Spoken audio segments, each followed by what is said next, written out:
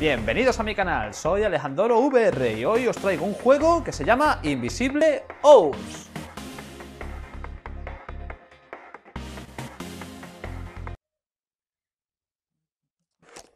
Pues nada, Virtumaníacos, ya estamos de nuevo por aquí y estamos en lo que sería la taquilla del teatro. Bien, este juego, os lo quiero comentar, no es un juego, es una novela gráfica animada en la que tú podrás interactuar con el escenario, pero no intervendrán tus actos en él. Es decir, podrás ver alguna serie de circunstancias, de cosas, explorar, pero lo que tú hagas no afectará en el transcurso de la historia. Así que podríamos decir básicamente pues que es eso, una, película interactiva, una novela interactiva. Eh, no os voy a decir nada de lo que es ni la historia principal, ni os voy a desvelar los personajes, ni os voy a decir absolutamente nada. Simplemente os voy a enseñar el juego, cómo funciona y punto, porque es un juego que necesitáis jugar vosotros si queréis saber cómo va a transcurrir la historia. Eh, una cosa importante que sí que os quiero decir es que el juego mm, puede parecer algo raro al principio porque vienes con la intención de querer jugar y realmente esto es simplemente para ponerte cómodo y vivir una historia. Así que nada, vamos a empezar para que veáis más o menos. Esto es tan sencillo como estás en el cine. Sacas tu entrada. Aquí tengo ya unas cuantas. Y bueno, vamos a coger la que tengo aquí y la metemos en la taquilla. Bien, y vamos a lo que sería el teatro, ¿vale? Es decir, estás en un teatro. Eh, si veis los controles, tenemos unos touch de madera bastante, bastante chulos, ¿vale? Parece así muy steampunk, o no me acuerdo exactamente cómo era ese tipo de diseño. Y aquí aparece un reloj, y aquí aparecen una serie de, de historias, pero bueno. Básicamente, lo único importante que tenéis que saber es que con este gatillo de aquí se teletransporta, con este se para el tiempo, el botón I acelera el tiempo y el botón X lo retrocede, ¿vale? Con los botones de aquí se cogen y bueno, el botón de aquí es modo teatro. Y si quieres girarte, pues como en otros juegos de Oculus, donde con el stick girándolo hacia los lados, pues te puedes mover. Y como veis, pues básicamente estamos en un teatro, estamos en un palco del teatro donde tenemos la serie de opciones y toda la historia. Es muy importante destacar que el juego está hecho por Tequila Works. El juego está traducido y doblado al español. Y sobre todo lo del doblaje, porque está muy, muy mimado, ¿vale? De, la verdad que los chicos de Tequila se lo han currado en ese sentido. Así que nada, le damos a iniciar, se abre el telón y comienza la aventura. Eh, acabo de parar el tiempo, ¿vale? Porque es lo que os he comentado, no quiero desvelar absolutamente nada del juego, ni diálogos, ni personajes, ni absolutamente nada, ¿vale?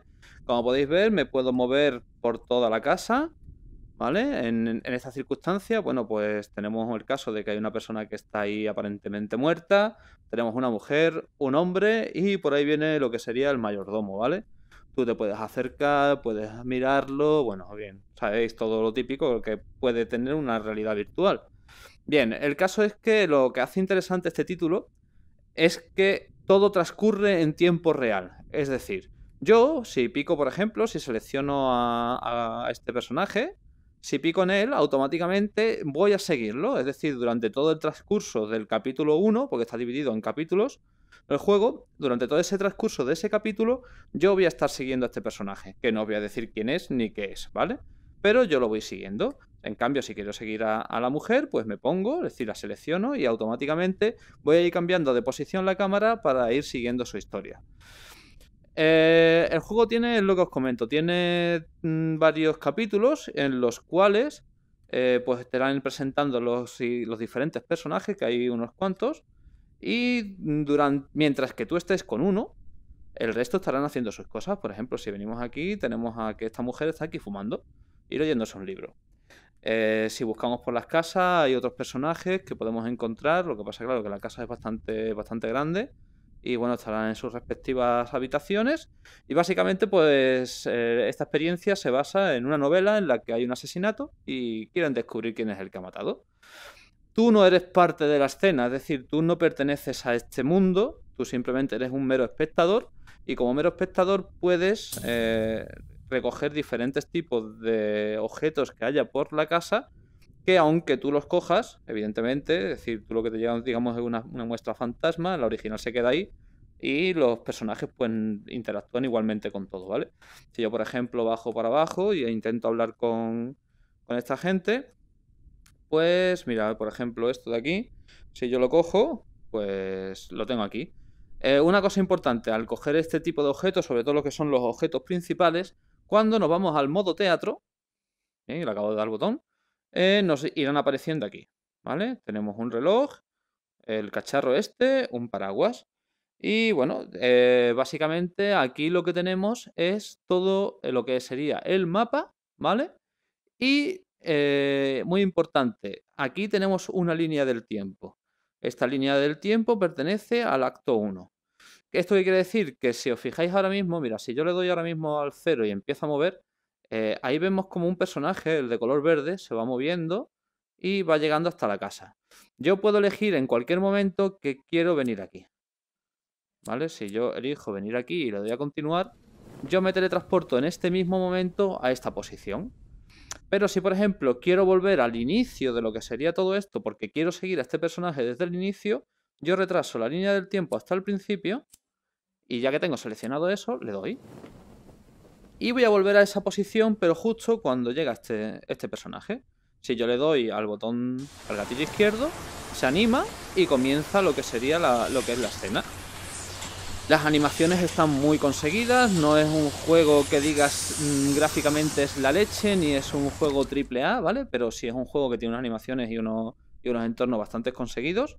Aunque sí que es verdad que en algunos casos lo que son la acogida de objetos de los personajes y cómo se mueven y demás historias, esas animaciones están ahí un poquito poquito que le faltaría meterle un buen pulido y una y meterle mano para que para solucionar todos esos pequeños problemitas que tiene.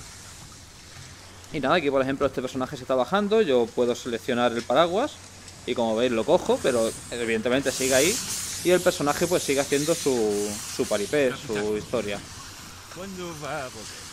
El idioma está en español, totalmente doblado, muy bien doblado. La sensación de tener a esta persona delante es buena, si es verdad que, los gráficos indico que no son una maravilla, ¿vale? Pero bueno, mm, te da la sensación de, de todo esto. Y bueno, aquí, como podéis ver, no, no está mal. Eh, la historia es muy chula, ¿vale? La historia de, que se cuenta aquí es muy chula. Eh, sí es verdad que tiene unos giros argumentales, como cualquier película, tío. Es, una, es una, cosa que, está bastante, bastante chula y bastante conseguida.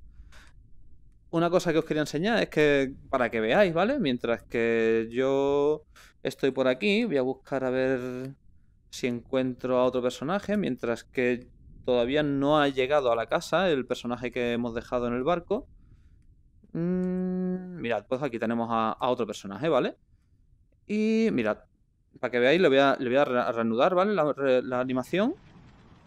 Y mientras que ellos están ahí fuera charlando, aquí tenemos a otro personaje. Está, pues que está leyendo, ¿vale? En el cual podemos interactuar con todos sus objetos. Que obviamente si saliera un puntero señalándote cuál es el que estás seleccionando sería mucho más fácil. Pero bueno. El caso es que, bueno, ahí veis cómo, cómo va transcurriendo todo desde todas las perspectivas posibles. El juego está bastante chulo y además mm, tiene bastantes horas de duración. Si es verdad que yo le he metido muchísima caña para poder pasármelo y según la información del juego me he quedado creo que al cincuenta y tantos por ciento de pasármelo. Si es verdad que he visto toda la historia completa, pero no ha habido, ha habido zonas que yo personalmente no fui, ¿vale? Es decir, siendo consciente de que eh, algunos personajes estaban haciendo determinadas acciones, yo, yo decidí no, seguir, ¿vale? Por motivos por, los que sean, ¿vale? Porque no me apetecía o porque prefería darle caña al juego. A mí, aún así, dándole bastante toda esa caña que le di, eh, a mí me ha durado el juego unas cuatro horas más o menos, entre tres horas y media, cuatro horas. Así que si te dedicas a darle y seguir todas las historias de todos los personajes que hay, posiblemente el juego se te vaya a 5 horitas, 6 horitas fácil, ¿eh? Y ya si te dedicas a, encontrar todas las cosas secretas que tiene y todos los accesorios y todas esas cositas, el juego durará, bueno, la, experiencia te durará un poquito más. Y como decía, ¿vale? El juego es básicamente, o la experiencia es básicamente una película, una, una, una narrativa en primera persona la estás viendo perfectamente. Y bueno. Señor T. Y antes de que diga el nombre, vamos a cortar el vídeo.